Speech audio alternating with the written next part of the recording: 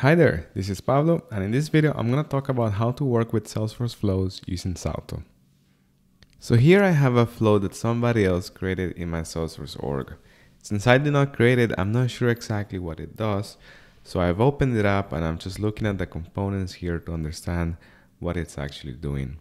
One of the things that I notice is that we have an account variable. If I click on that, I can see that it's a variable of type account. So it seems that the flow is doing something with the account record. Now, if I click here, I can then see where the variable is used within the flow. But the problem is I can't actually open these elements here and see how that variable is used within the flow. I will need to open up each element and go through it and read what's happening before I can get the full picture of what the flow is doing with this account object.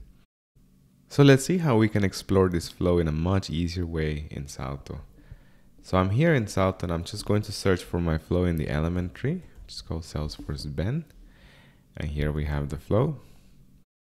Nice. Now what I'm going to do is I'm just going to copy the name of this variable.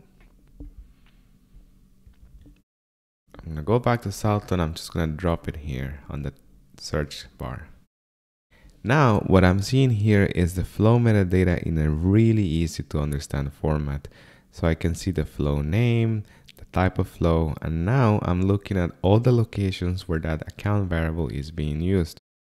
So for example, here I can see that it's being used in an assignment element, and I can see that the customer priority field is being assigned to the value critical. So great, now I know one place where that account variable is being used and I know that what's happening is we're modifying the customer priority field. We're also assigning a value to the active field as well. So let me just keep going down the list and see what else is happening. All right, now I see that it's also being used in a decision where we check if the customer priority field equals critical. Let me just go down the list a few more times and I can also see that it's being used here in a screen element as well. So as you can see, this is just a very nice way of being able to visualize your flow metadata and just the fact that you can search for anything in this way is extremely valuable. You could also search for this field here in case you want to see where that field is used within the flow. So let's just give it a try. And there we have it, it's used there. It's also used again in a decision element. It's also a formula and appears that it's also a dynamic choice set. So again, we have a lot of options to really understand what is happening with our flows thanks to Salto's user-friendly interface.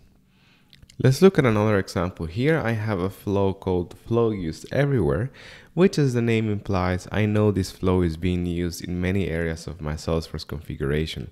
I know it's being used by other flows in some Apex classes, but I'm not sure exactly where. And as you can see here, there is no where is this used button as it exists for custom fields. So there's no native way for me to see where this flow is being used. So what I'm going to do is I'm just going to copy the flow API name. I'm going to go back to Salto. I'm going to drop it in here. And this time I'm going to go over the content tab where I can see all the places in my Salesforce configuration where that name is being used. So I can see here that this is being used in a button. It's also used by two other flows and I can see it's also being used by an Apex class here. And I can also see that it's being used by a lightning component. So again, this is a really easy way to understand where your flows are being used anywhere in your Salesforce configuration. And that's it. Now you have the tools to understand your flows in your Salesforce org. Thanks for watching.